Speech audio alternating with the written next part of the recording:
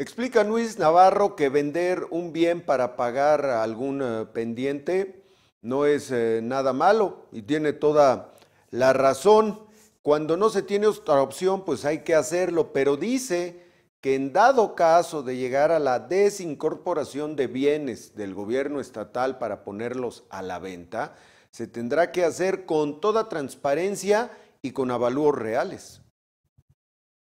El tema de que, de que un, de vender un bien para pagar algún pasivo, bueno, pues, digo, cuando no tienes otra opción hay que recurrir a eso, pero insisto, con avalúos también reales, exactamente, que, y, les quiero decir algo, los avalúos que de, los inmuebles del gobierno municipal, eh, estatal y federal deben de ser por INDAVIN. Es una, eh, es una área que, si no me recuerdo, no sé si está en la, en la función pública o en Hacienda, en el gobierno federal, pero, pero digamos, es, es, es, como, tiene todas las certificaciones y, con toda la confianza. No puede ser un avalúo hecho por patrimonio del Estado, no puede ser un avalúo hecho por, por, por SCOP o por un particular, porque esos pues, de alguna forma son muy eh, manipulables a la conveniencia del, del, vendedor o del comprador. Entonces, todo lo que se haga va a ser totalmente con transparencia y de acuerdo a la legalidad.